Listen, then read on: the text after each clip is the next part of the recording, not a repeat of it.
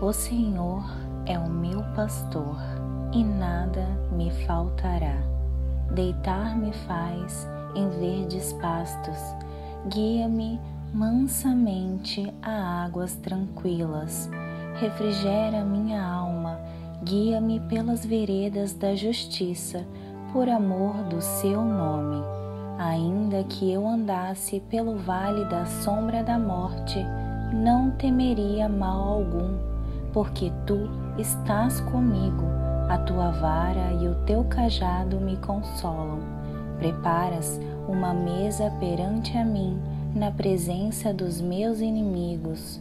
Unges a minha cabeça com óleo e o meu cálice transborda. Certamente que a bondade e a misericórdia divina me seguirão todos os dias da minha vida e habitarei na casa do Senhor por longos dias.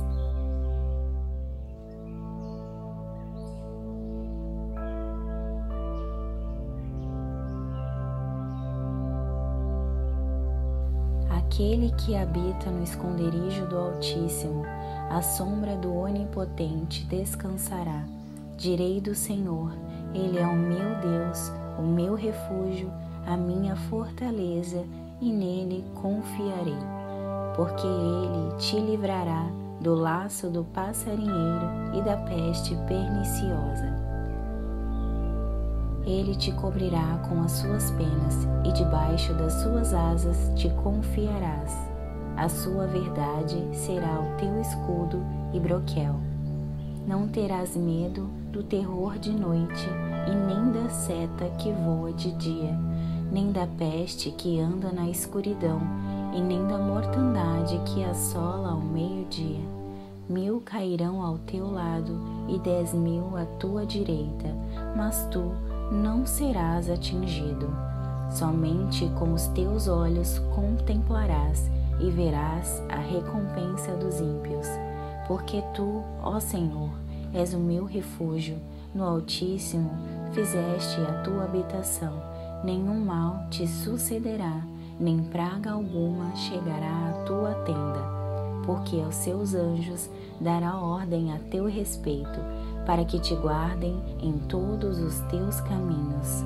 Eles te sustentarão nas suas mãos, para que não tropeces com o teu pé em pedra.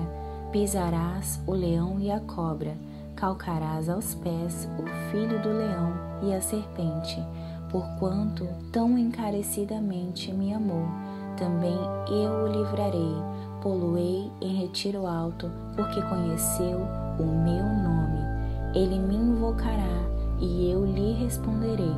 Estarei com ele na angústia, dela o retirarei e o glorificarei.